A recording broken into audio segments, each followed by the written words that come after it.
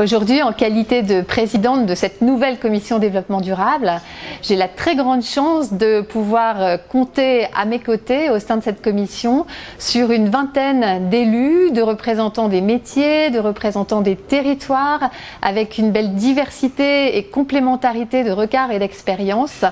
Et tout ceci euh, me paraît extrêmement prometteur pour relever l'ambition hein, de, cette, de cette commission qui est vraiment de positionner le CNPA comme la fédération de référence en matière d'engagement développement durable. Notre feuille de route va se structurer en deux grands volets. Le premier volet, c'est agir agir avec le développement d'un label, un label sectoriel, et euh, la mise à disposition et le développement d'outils pour les professionnels de l'automobile. Le deuxième grand axe, c'est le faire savoir, parce qu'il euh, est important euh, d'agir sur le terrain, mais il est aussi important de faire savoir ce qui est fait par les professionnels. Et donc à ce niveau-là, euh, nous développons des outils de communication progressivement pour valoriser et surtout changer le regard sur les métiers de l'automobile. Quand quand j'ai créé le club il y a une douzaine d'années maintenant, on s'est orienté vers tous les sujets et tous les enjeux du commerce. Très rapidement, on a souhaité, il y a déjà maintenant quelques années, s'orienter orienté véritablement sur euh, les préoccupations et les enjeux métiers.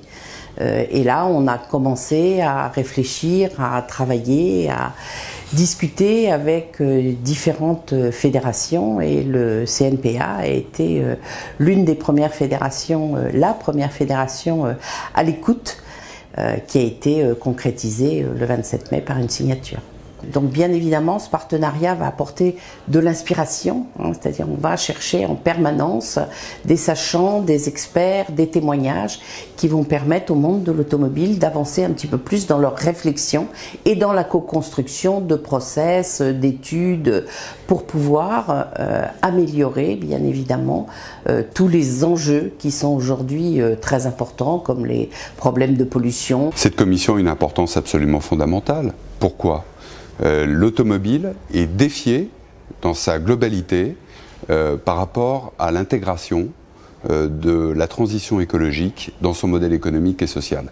Donc c'est une commission absolument fondamentale pour préparer l'avenir et faire lever une génération responsable au sein de la gouvernance du CNPA. Cette commission est là pour faire, elle est là pour rapprocher l'écologie du terrain et elle est là pour rendre l'économie et l'écologie compatibles. C'est une commission pour agir, c'est une commission pour avoir une idée d'avance et c'est une commission pour porter l'élan du CNPA sur ce défi qui est absolument fondamental pour notre société.